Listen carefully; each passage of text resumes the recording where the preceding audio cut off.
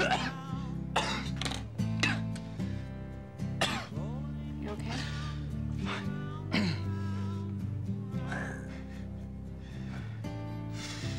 Well, I'm hammered. I mean, I'm hiding it very well. I'm aware of that. but I'm pretty soused. Can you tell? No. Come on. Well, yeah. I mean, when you were at the bar, you were saying diaphragm instead of diploma. Other than that, no.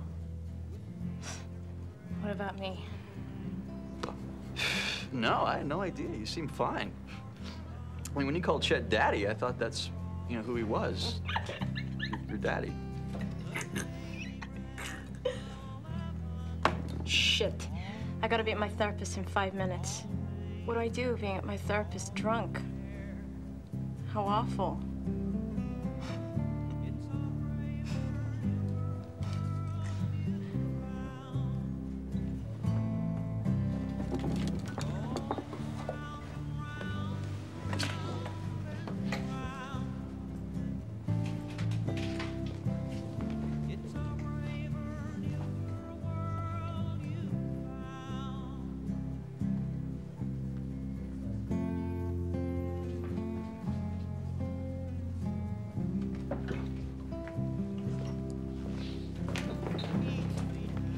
You know, despite my efforts, my intense efforts to do nothing, things happen anyway.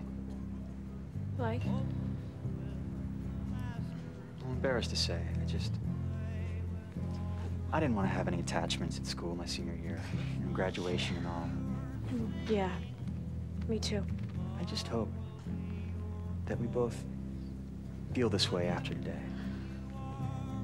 After we leave this moment, I, I hope that after the alcohol wears off, you go talk to your shrink, I go back to my friends. I just hope we keep this. It's not really as dramatic as all that. I mean, we've got some time. It's a long life. Hey, what if we did have a love affair? Do you think it'd really last? That's a good attitude.